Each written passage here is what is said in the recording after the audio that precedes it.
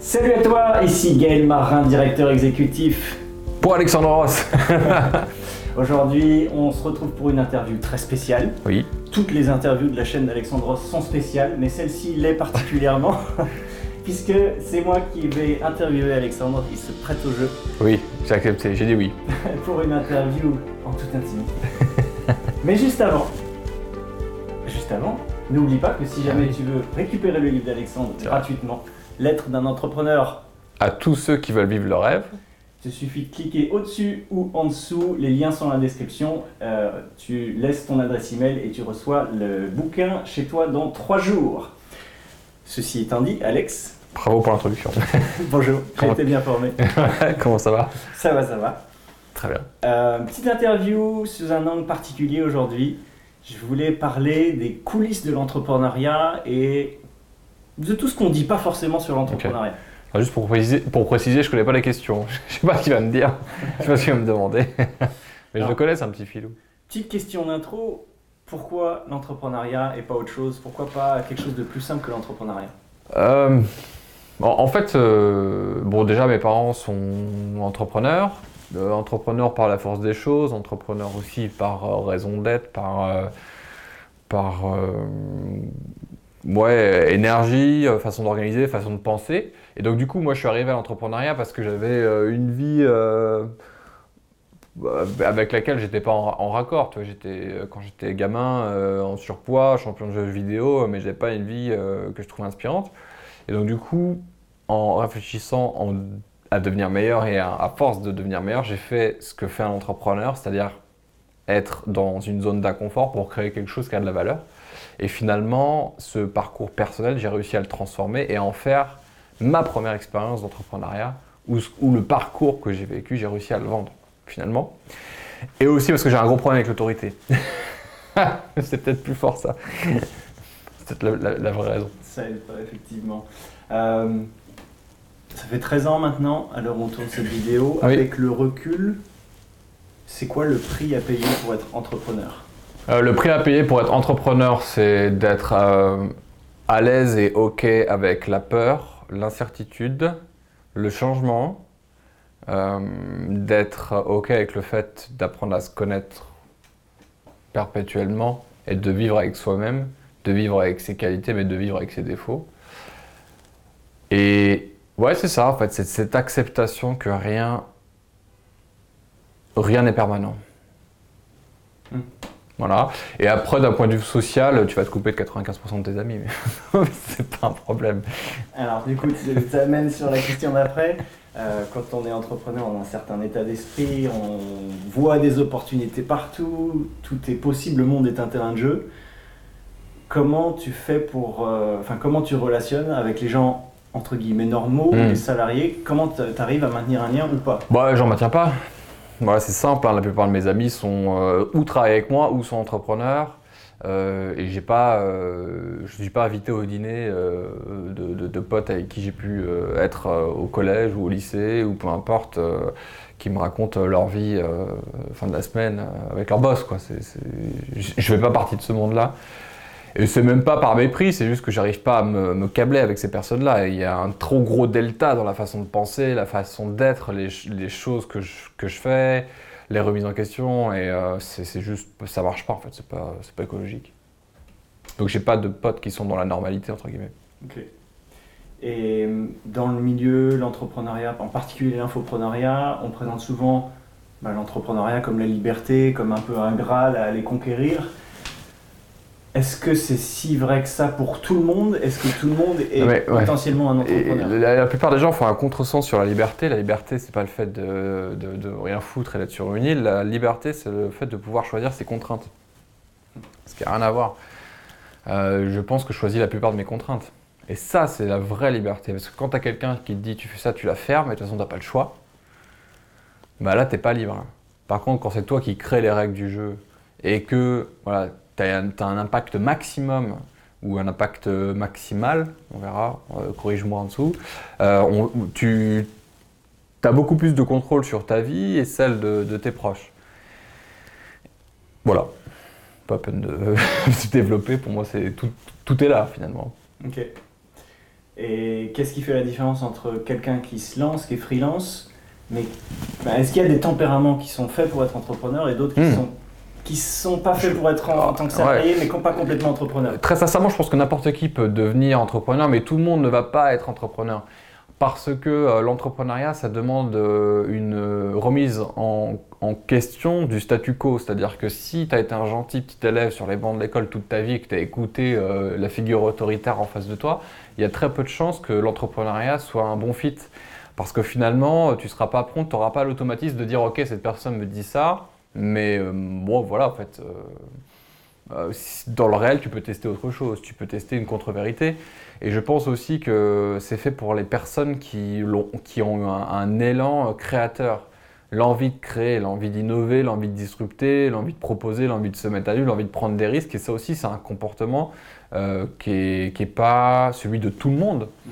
Et aujourd'hui, l'entrepreneuriat, c'est à la mode. Aujourd'hui. C'est à la mode, il y a de plus en plus d'indépendants. Et être entrepreneur, c'est un truc cool, enfin, qui devient cool, notamment grâce à l'élan des startups. Ce n'était pas le cas particulièrement à l'époque de mes parents. Ça ne l'était pas non plus particulièrement quand j'ai commencé. Euh, Il n'y avait même pas de statut auto- auto-entrepreneur. C'était vraiment euh, l'entrepreneur- l'entrepreneuriat des papas. C'était la grosse boîte ou le petit commerçant, mais tu n'avais pas, tiens, tu veux débuter, on va te lancer un, petit statut.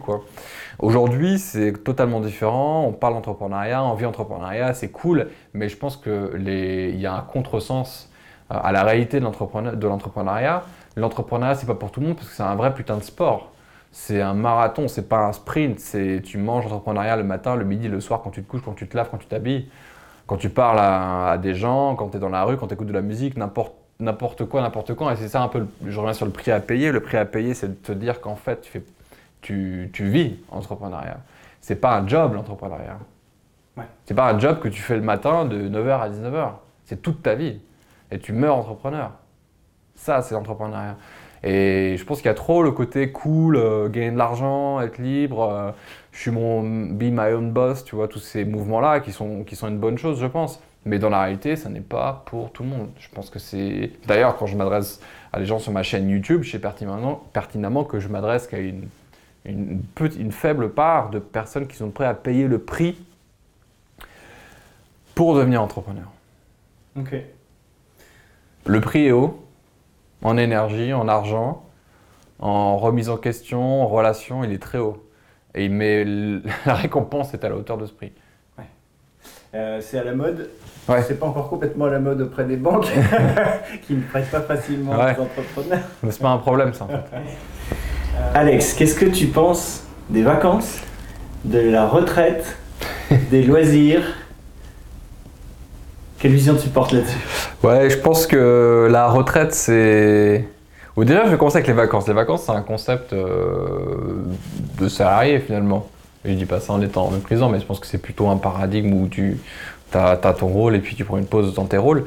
Moi, en tant qu'entrepreneur, j'ai pas vraiment de vacances. J'habite à l'île. Déjà, j'habite en vacances. J'habite à l'île Maurice. Donc, euh, en fin de journée, on va à la plage. euh, Le week-end, on va dans notre hôtel. Enfin, voilà. C'est une vie où j'ai pas besoin de m'échapper. Ce qui est euh, le concept un peu des vacances. Par contre, j'ai besoin de repos. Ça, oui. J'ai besoin de repos, donc je vais couper un week-end, on va partir euh, au spa, on va faire d'autres choses, ou rien faire, hein, regarder un film, etc. Donc le repos est indispensable. Après, pour le concept de retraite, moi j'ai peu d'espoir par rapport au système français. Je préfère euh, construire un empire, entre guillemets, qui va me rémunérer et m'assurer ma retraite. C'est l'objectif que j'ai. Plutôt que de me dire euh, de compter sur le système, qui pour moi, le- un système qui est à bout de souffle, qui est défaillant, et qui m'apportera rien à l'âge où il faudra raccrocher, mais pas par rapport à ce concept de l'âge où il faut raccrocher. Pour moi, tant que je suis, tant que je suis valide, tant que je sais réfléchir et agir, je ne compte pas m'arrêter. Je ne vais pas m'arrêter à 60 ans, 70 ans, 80 ans, 90 ans. Tant que je peux, j'y vais. Un peu à la Warren Buffett Mm. ou Bill Gates. Parce que c'est trop passionnant en fait. C'est trop passionnant pour faire des pauses, des arrêts, des vacances euh, ou s'arrêter. Enfin, ça n'a pas de sens. C'est comme si tu dis à un artiste ou, ou à un passionné, un poète, bah, tu vas t'arrêter maintenant d'écrire. C'est 60 ans, c'est l'âge de la retraite, il faut raccrocher maintenant. Puis tu vas aller en maison de retraite. Allez, ciao. Je sais. c'est pas, possible. Game over. Ouais, grave. Euh, précisément, le, quand tu es entrepreneuriat, tu choisis. C'est toi qui décides ce sur quoi tu travailles. En général, ça te passionne. En général, tu y penses tout le temps. En général, tu pourrais presque payer pour faire ce que tu fais. Du coup, comment est-ce que tu fais pour aller trouver l'envie de t'arrêter? Parce que ça peut être un truc qui devient addictif et qui devient grisant. C'est-à-dire, tu es dans, ton, dans ta passion, à quel moment tu décides de t'arrêter? Bah, Qu'est-ce qui fait que tu t'arrêtes? Déjà, je m'arrête pas, finalement. je me suis pas arrêté depuis que j'ai commencé.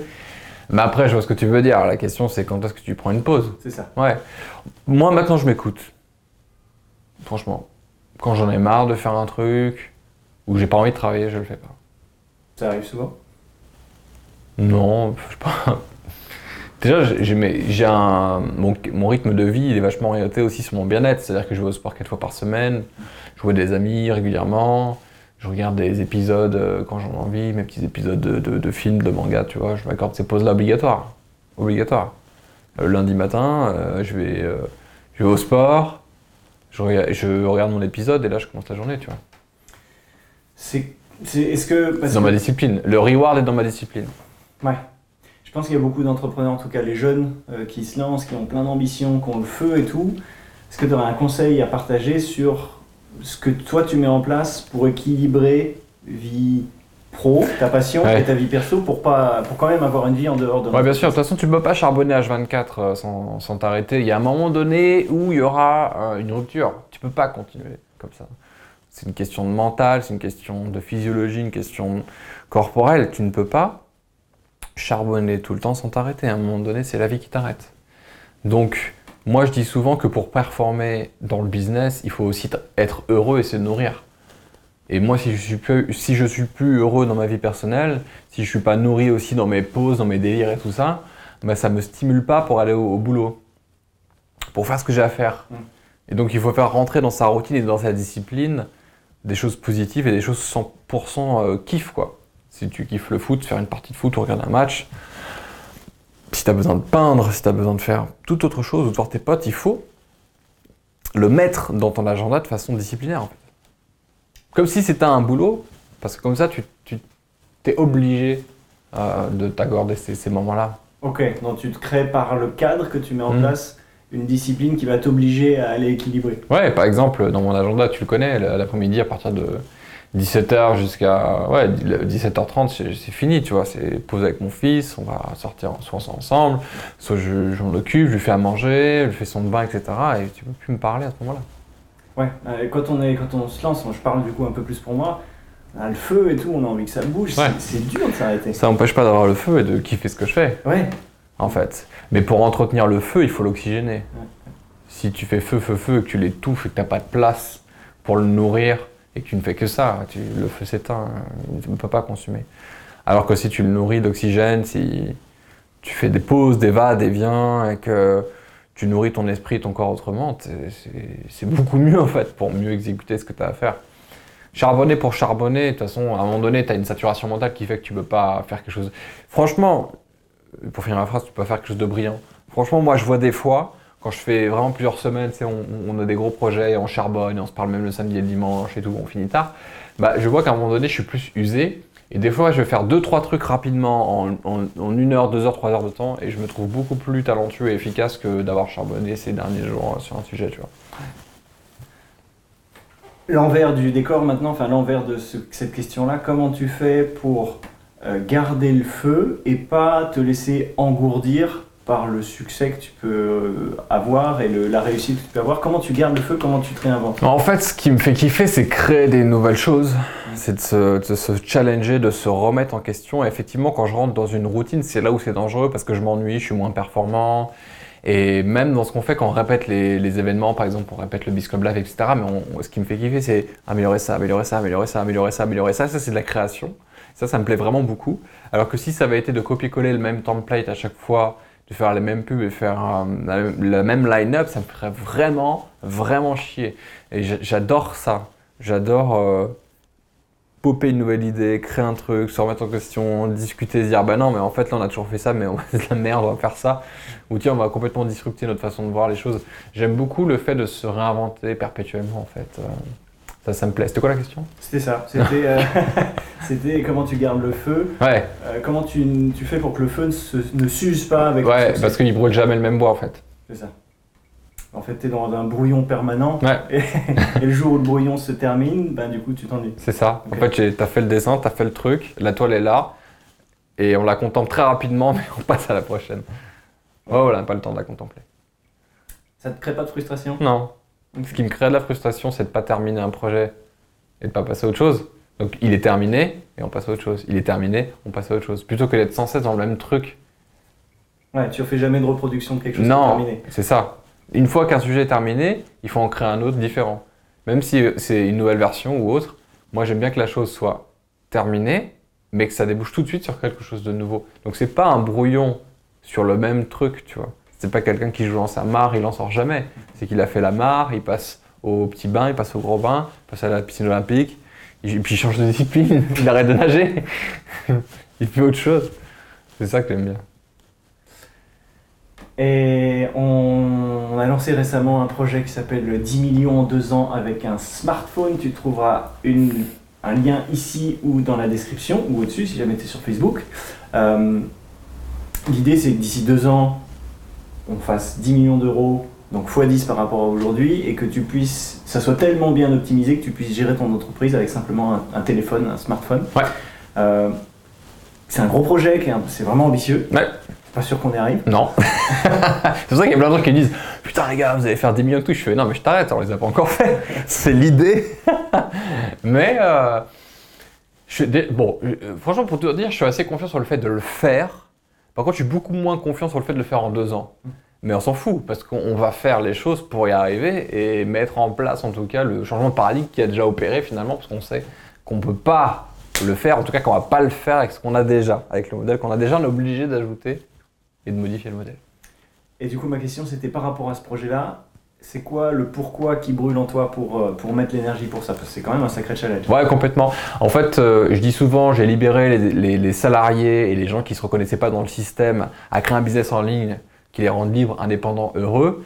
Et du coup, en fait, on se dit, bah, on, on loupe une partie de l'équation. Et je dirais même qu'on n'est pas dans le paradigme. Déjà, l'équation qu'on a loupée, c'est les entrepreneurs qui deviennent eux-mêmes enfermés de leur propre système et de la prison qu'ils ont créée. La Tiger Race. Et c'est ça, c'est la your rest, c'est pas mal ça.